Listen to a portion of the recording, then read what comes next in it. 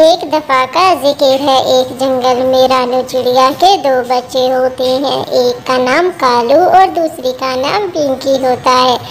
कालू जवान हो चुका था, रानू दोनों बच्चों से बहुत प्यार करती।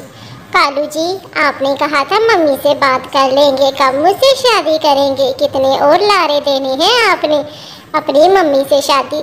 की बात करो, नहीं तो हम मैं तो अपने घर से भाग जाऊँगी। मेरी अम्मी ने मेरा रिश्ता कहीं और तय किया है। अब आप डिसाइड कर ले, क्या करना है आपको? मैंने अपनी माँ से बात की थी, लेकिन वो कहती है कि तुम बिल्कुल ठीक नहीं हो। मेरे लिए तुम दूसरों को लूटती हो और फिर चली जाती हो। मुझे तो तुम पर यकीन है, लेकिन माँ को बिल्कुल यकीन नहीं। तुम अपने कपड़े पैक करो, हम भाग कर शादी करेंगे। ठीक है, अब कल ही भागेंगे, ठीक है? आ गई समझ रानू बहुत परेशान हो रही थी कि मेरा बेटा अभी तक नहीं लौट। बेटा, अभी तक तुम्हारा भाई नहीं आया। उस गोरी के चक्कर से कब निकलेगा? मुझे वो लड़की बिल्कुल ठीक नहीं लगती कभी। मैंने सुना है दूसरे जंगल में भी किसी के साथ शादी करके उसे लूट कर आई है। वक्त तो कह रही थी मुझे कि ऐसा ऐसा है।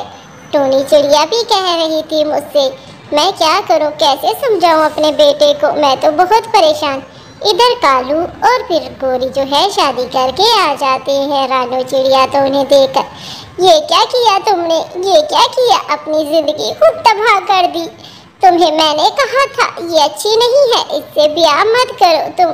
हाँ मेरी गोरी ऐसी नहीं है। आप इसके बारे में ऐसा मत सोचिए, ये बहुत अच्छी है और शरीफ है। आप बिल्कुल इसके बारे में गलत सोच रही हैं। ये तो बहुत अच्छी है। एक दफ़ा बहू बनाकर तो देखे माँ।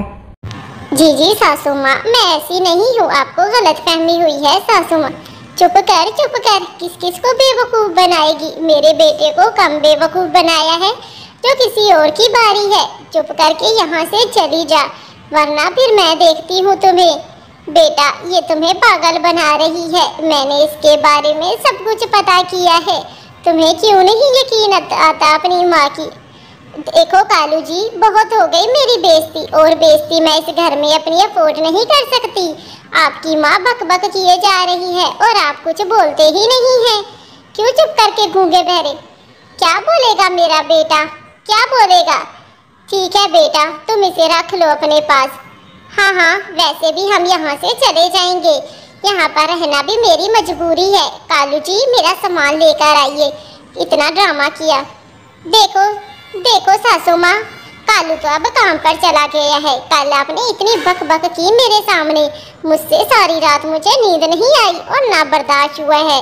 दफ़ा हो जाए मेरे घर से और आंदा से अगर यहाँ पर दिखाई भी दी तो अपने भाइयों को मुरवा कर इधर रानू चिड़िया को घर से धके देकर उसकी बहू निकाल देती है। बेटा, अब हम कहाँ जाएँगे? हमारे साथ तो बहुत बुरा अन्याय हुआ। मेरे बेटा को आने नहीं दिया और मुझे और आपको घर से भगा दिया। मैं अपनी बेटी को लेकर कहाँ जाऊँगी? क्या हो गया मेरे साथ? ये ये कैसे हो सकता है? ऐसे ही रानो और उसकी बेटी रोई जा रहे थे। इधर कालू भी है, घर आ जाता है और अपनी बीवी गोरी से पूछता है। गोरी मेरी माँ और मेरी बहन दिखाई नहीं दे रही। कहाँ गई है वो? बताओ किसी आस पड़ोस के घर तो नहीं गई? कालू जी कालू जी, क्या बताऊँ आपको? आपकी मम्मा ने मुझे बहुत सुनाई और फिर यहाँ से चली गई। कहती, मैं इस मनहूस के साथ नहीं रहूँगी। उसने मेरी बहुत बेइज्जती की। पता नहीं अब दोनों कहाँ चली गई हैं। मैंने बहुत रोका उन्हें। बेटा, ये घर पता नहीं किसका है। अब हमें यहाँ रहना चाहिए। और ठिकाना भी नहीं है। तुम्हारी भाभी ने भी हमें घर से निकाल दिया। वो शातिर कवि, कोई ना कोई नुकसान ज़रूर पहुंचाएगी। मेरे बेटे ने तो मेरी कहना नहीं माना। चलो बेटा, अब हम यही अपनी ज़िंदगी गुजारेंगे। यहाँ फल फ्रूट सब कुछ है। हम यहीं पर रहेंगे। ऐसे ही वो दोनों वहीं पर रहना लग जाती है और फिर किचन में जाकर खाना बनाती है। पहले तो रानो बहुत ज़्यादा उदास होती है। क्योंकि उसका बेटा उससे छिन चुका था, वो उसी के सहारे तो ज़िंदा रह रही थी। लेकिन क्या हो सकता है? जब वो बाहर जाती है, क्या देखती है? वहाँ पर तो जामन का पेड़ लगा था, जिसमें बहुत ज़्यादा जामन थे। मम्मा मम्मा, ये देखे, ये इतने सारे, बेटा, ये तो जामन का पेड़ लग रहा है, और इसमें जामन भी बहुत ज़्यादा लगे हुए हैं। वाह बेटा, तुमने तो अच्छा खोज लगाई। चलो खाना खा लो बेटा, जामन बेचकर खाना ले। कालू जी अभी तक नहीं आई मेरी बहन। अरे, कब मर गई थी चमकीलो? कब से तुम्हारा इंतज़ार कर रही हूँ? सारा मैंने कैश उठा लिया है। इस बुखारी के पास तो कुछ भी नहीं था। सारी अलमारियाँ चेक की हैं, बस यही कुछ माल निकला है। चलो यहाँ से भागने की चाह करो, ये ना हो वो कालू मनहूस आ जाए। मैंने उसकी माँ को भी धक्के देकर इस घर से निकाल दिया और उसकी बहन को भी धक्के देकर घर से निकाल दिया। मैंने सोचा था यहाँ पर इतना सारा सामान होगा, लेकिन यहाँ तो कुछ भी नहीं है, कुछ भी नहीं, बस यही सामान पड़ा था, यही कोई लाख दो लाख होगा, बाकी तो कुछ भी नहीं है। इधर कालू सारी बातें सुन रहा था। ये क्या हुआ दीदी? आप उधर क्यों देख रही हैं? वैसे भी हमने इतने लोगों को लूटा है। चलो, लाख भी बहुत है। जाकर घूम फिर लेंगे। वैसे भी आप कितनी शातिर हैं दूसरों को बेवकूफ़ बनाने की। उस बुढ़ी को तो पहले ही पता लग गया था रानू को। आपने कितनी चलाकी से उसे घर से बाहर निकाल दिया। वाह दीदी, वाह, आपकी तो माननी ही पड़ेगी। क्या शातिर दिमाग है? मेरी माँ ठीक कहती थी तुम्हारे बारे में। तुम दूसरों को धोखा देने में माहिर हो। मैंने ही तुम्हारी मोहब्बत में अंधा होकर इतना बड़ा कदम उठाया। काश मैं अपनी माँ की बात पर यकीन कर लेता तो आज मेरे साथ यही होता। दफ़ा हो जाओ अपनी बहन को यहाँ से लेकर और मुझे कोई सफ़ाई सफ़ाई नहीं चाहिए तुम्हारी। कालू जी बात तो सुनिए कालू जी बात तो सुनिए। ऐसे ही कालू धके देकर भगा देता है। उसे अपनी गलती पर पछतावा था। मैंने अपनी माँ की बात नहीं मानी। मेरी माँ तो मेरे लिए सुंदर सुंदर सी कवियाँ दिखा रही थी।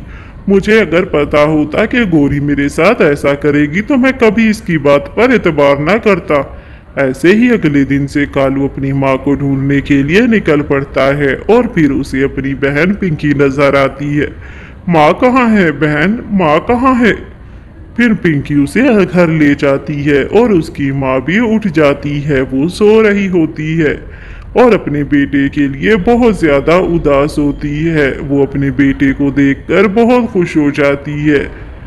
माँ, मुझे माफ़ कर दो माँ, आपने सही कहा था, वो किसी की नहीं है।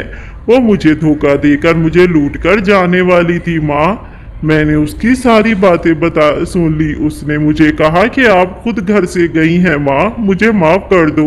मुझसे गलती हो गई, माँ। भैया, हमें छोड़कर कहाँ गए थे? माँ, बहुत परेशान हो रही थी आपकी वजह से। ऐसे ही रानू अपने बेटे को माफ़ कर देती है और फिर वो तीनों खुशी खुशी अपनी ज़िंदगी गुजारने लग जाते हैं। प्यारे बच्चों, कहानी अच्छी लगे तो जल्दी से चैनल को सब्सक्राइब करें और मुझे कमेंट्स में ज़रूर बताएँ कैसी लगी